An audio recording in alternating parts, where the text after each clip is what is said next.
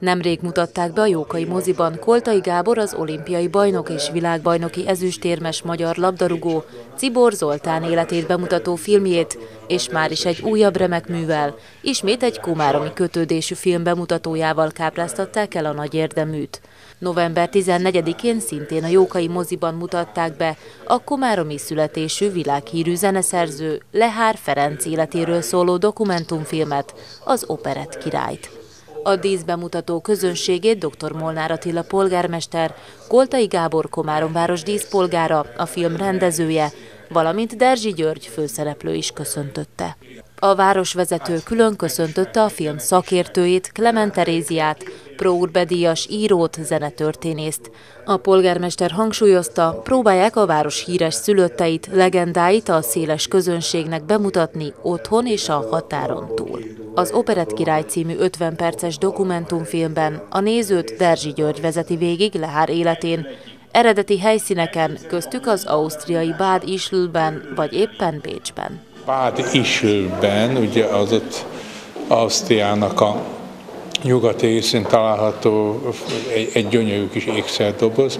Ő ott vásárolt egy, egy villát, egy, egy villát, egy kisebb palotát, és hát ott minden úgy maradt, amikor ő meghalt, ahogy azt ő használta. Tehát ott semmit nem mozdítottak el, a teljes berendezés, minden, az utolsó kis jegyzet füzete, minden ott maradt a helyén, és hát itt forgattuk a filmnek egy jelentős részét, és hát ezt most felújítják, be is zárták több évre, úgyhogy nekünk még megengedték, hogy idén tavasszal, úgyhogy ott kívül-belül Tövőhegyére végig forgattuk, és hát ott természetesen belehelyezkedtünk azokba, abba a világba, hogy az ember hozzáolvasott, hogy kik fordultak meg, ő ottan hogyan, hogyan élt. Hát ez volt nekem mondhatni a legnagyobb élmény a film kapcsán.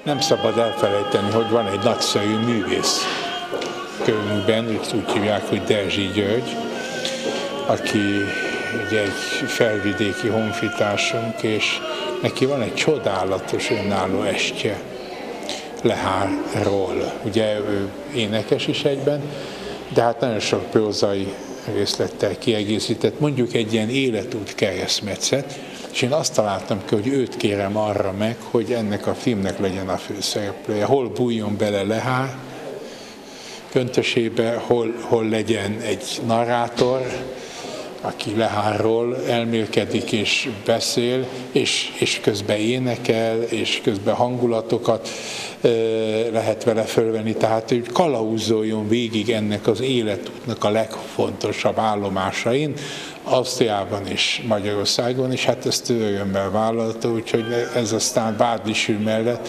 nekem a legnagyobb élmény volt vele együtt dolgozni, és hát így ez egy kicsit, hogy mondjam, egy olyan dokumentumfilm, ami, ami ilyen fikciós vagy fikciós jellegű jelenetekkel is kiegészül, és hát talán még gazdagabban áttélhetővé teszi mindazt, amit hát 50 percben erről a géniuszról el lehet mondani. Én nagyon élveztem Koltai Gáborral a munkát, ez volt az első igazából olyan film, amiben, amiben én voltam a központi figura, és hát, hogy minden pillanat rólam szólt, és ez egy nagyon-nagyon élvezetes volt, például Bádisülben két napot forgattunk Lehár Ferenc házában, villájában.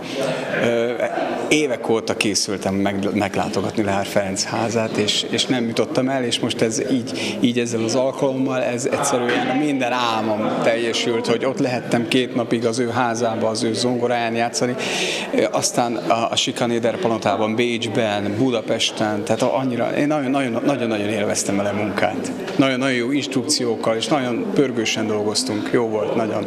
A Lehár film a zeneszerző karmester életének főbb állomásait mutatja be, a színházi hegedűs évektől kezdve az első zeneszerzői próbálkozásain át, a katona karmesteri posztig, majd egészen a világ sikerig. Bécsben megkerestük mindazokat a helyszíneket, eh, ahol vagy bemutatót tartott, vagy fontos volt. Hát például a, a, a, a végözvegynek, ugye, ami neki a első igazán nagy átütő sikere volt, hát annak a jogdiából vásárolt egy gyönyörű palotát a Theobald Gasszén. Itt is forgattunk, forgattunk a Fox Operbe, tehát olyan bécsi helyszíneken, ami hozzá kötődik, és hát persze ezeket a, a műveit a kinti bemutató után nem sokkal Magyarországon is bemutatták, a népoperába, ugye ezt ma úgy hívjuk, hogy Erkel Színház, vagy az operába, vagy a Nagymező utcában, Budapesten az Operett Színházba. Tehát ezeket a helyszíneket is, is bekomponáltuk. Koltai Gábor kiemelte, a film producerével, a Magyarok Dalszínházzal évtizedes szakmai kapcsolatot ápol. Én egy kicsit törekedtem arra, hogyha ha szabad ilyen kulisszatitkot elárulni, hogy ha ennek a nagyszerű eredményeket fölmutató, és két évtizeden működő dalszínháznak lesz kőszínház a Komáromban, mint ahogy a kőszínház megvan, ugye csak hát még azt azért föl kell újítani és alkalmassá kell tenni, hogy a folyamatos színjátszásot meg tudjon valósulni, és ebben mondjuk a Covid időszak meg a háború ez nem segítette őket, hanem kicsi lelassította ezt a munkát, de hogyha ez elkészül, már pedig el fog készülni, csak félbe maradtak a munkák, akkor ez legyen egy olyan zenés színháznak az otthona, ez a filmben is benne van, aminek a neve Lehár Ferenc. A koronavírus járvány 2020-ban sajnos rányomta bélyegét a Lehár 150 emlékév programjaira. Ennek ellenére sikerült méltóképpen megemlékezni az egykori zeneszerző, operettkomponista, karmester születésének másfél évszázados jubileumi évfordulójáról.